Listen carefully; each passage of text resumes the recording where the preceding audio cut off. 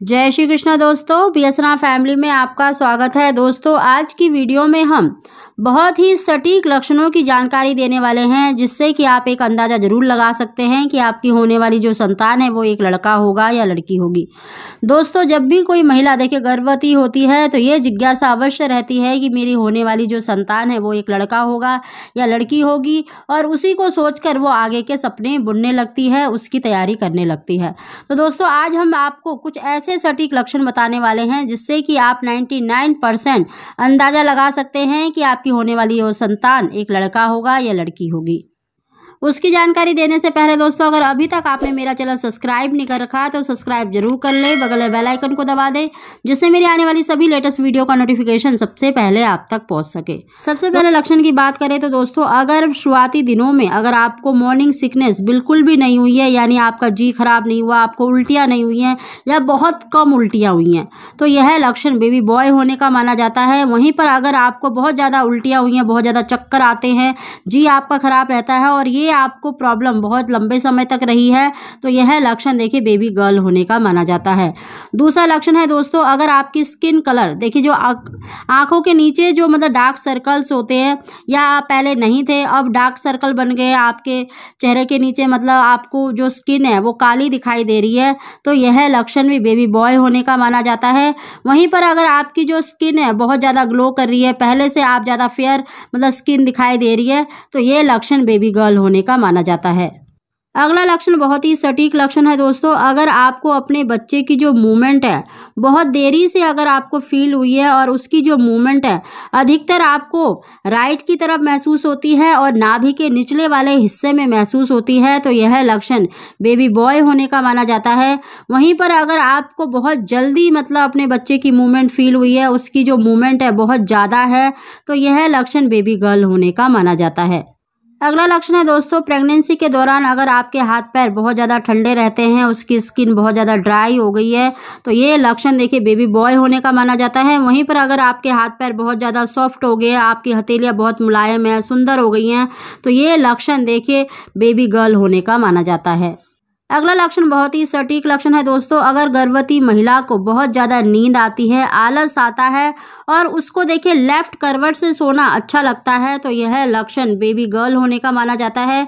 वहीं पर अगर आपको नींद बहुत कम आती है, आप बहुत ज़्यादा एक्टिव फील करते हैं, कोई भी काम करने में आपको आलस नहीं आता है, और आपको राइट करवट से सोना अच्छा लगता है तो यह लक्षण। बेबी बॉय होने का माना जाता है, क्योंकि हमारे शास्त्रों में भी बताया गया है कि जो लड़का है, वो हमेशा राइट की तरफ़ रहता है, यानी दाई तरफ़ रहता है, और लड़की हमेशा बाई तरफ़, यानी लेफ़्ट की तरफ़ रहती है। तो दोस्तों, अगर आपको अपने बच्चे की मूवमेंट लेफ़्ट की तरफ़ महसूस होती है तो आप अंदाज़ा लगा सकते हैं कि आपको बेबी गर्ल होने वाली है। अगर आपको राइट की तरफ़ ज़्यादा फील होती है तो यह, देखिए, बेबी बॉय होने का माना जाता है। अगला लक्षण बहुत ही सटीक लक्षण है दोस्तों। अगर गर्भवती महिला को देखिए सातवें, आठवें महीने में अपना पेट बहुत ज़्यादा बाहर की तरफ़ दिखाई दे रहा है। आपको अपना पेट बहुत ज़्यादा कड़क मतलब महसूस हो रहा है और आपको देखिए कोई भी काम करने में मतलब प्रॉब्लम हो रही है, उठने, बैठने में आपको दिक्कत हो रही है। अगर आप कोई भी काम करते हैं तो आपको बैक पेन होने लगता है, आपकी कमर फटने लगती है तो यह लक्षण देखे, बेबी बॉय होने का माना जाता है।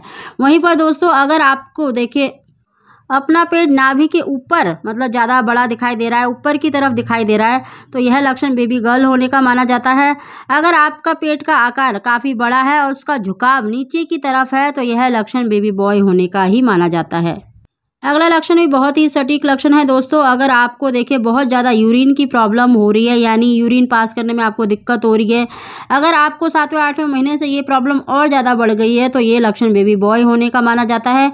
वहीं पर अगर आपको देखिए यूरिन की दिक्कत मतलब है, लेकिन बहुत ज़्यादा नहीं है तो यह लक्षण बेबी गर्ल होने का माना जाता है। अगला लक्षण है दोस्तों, अगर गर्भवती महिला की देखिए नाभि बाहर की तरफ़ आ गई है, अगर आपकी नाभि बहुत ज़्यादा डार्क है, आपकी जो ब्रेस्ट है उसका कलर भी बहुत ज़्यादा डार्क हो गया है तो ये लक्षण देखिए बेबी बॉय होने का माना जाता है। वहीं पर अगर आपकी जो नाभि है मतलब उसका कलर चेंज नहीं हुआ है, आपकी निप्पल का भी कलर अगर चेंज नहीं हुआ है तो यह लक्षण बेबी गर्ल होने का माना जाता है।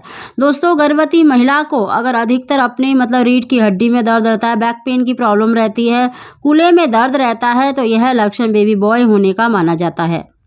अगला लक्षण है दोस्तों, अगर गर्भवती महिला को अपने खाने में मीठी चीज़ें खाना पसंद है या अलग अलग चीज़ों का आपका मन करता है, यानी फ़ूड क्रेविंग होती है तो यह लक्षण बेबी बॉय होने का माना जाता है। वहीं पर अगर गर्भवती महिला को ज़्यादा चटपटी, तीखी चीज़ें अच्छी लगती हैं तो यह लक्षण बेबी गर्ल होने का माना जाता है। अगला लक्षण बहुत ही सटीक लक्षण है दोस्तों। अगर गर्भवती महिला को अपने सपने में मेल से संबंधित चीज़ें दिखाई देती हैं, फल दिखाई देते हैं, सब्ज़ियाँ दिखाई देती हैं, या अपने सपने में कोई लड़का मतलब छोटा बच्चा दिखाई देता है बेबी बॉय दिखाई देता है तो यह लक्षण देखिए बेबी बॉय होने का माना जाता है। वहीं पर अगर गर्भवती महिला को अपने सपने में बेबी गर्ल दिखाई देती है, यानी लड़की दिखाई देती है, या मतलब कोई महिला दिखाई देती है, या अपनी आपकी बहन है, कोई भी अगर लेडीज़ आपको दिखाई देती है तो यह लक्षण बेबी गर्ल होने का माना जाता है। अगला लक्षण है दोस्तों, अगर गर्भवती महिला की जो मतलब बॉडी है, उसमें जो छोटे छोटे बाल हैं, उनकी ग्रोथ बढ़ गई है, आपके बालों की ग्रोथ बढ़ गई है, आपके बाल बहुत ज़्यादा अच्छे हो गए हैं पहले के मुकाबले तो यह लक्षण बेबी बॉय होने का माना जाता है। वहीं पर अगर आपको अपने बालों में मतलब पहले से ज़्यादा रूखे, बेजान अगर आपके बाल ज़्यादा झड़ने लग गए हैं तो यह लक्षण देखिए बेबी गर्ल होने का माना जाता है। दोस्तों, ये काफ़ी सारे हमने आपको लक्षण बताए हैं, जिससे कि आप अंदाज़ा लगा सकते हैं कि आपकी होने वाली जो संतान है वो एक लड़का होगा या लड़की होगी। दोस्तों, ये वीडियो बनाने का केवल इतना ही मतलब मकसद है आपकी जिज्ञासा को दूर करना। तो इस वीडियो को गलत तरीके से ना लें और कोई भी लक्षण हंड्रेड परसेंट नहीं होता है। दोस्तों, वीडियो पसंद आई हो तो प्लीज़ इसे लाइक करें और मेरे चैनल को सब्सक्राइब करना ना भूलें। आप सभी को जय श्री कृष्णा।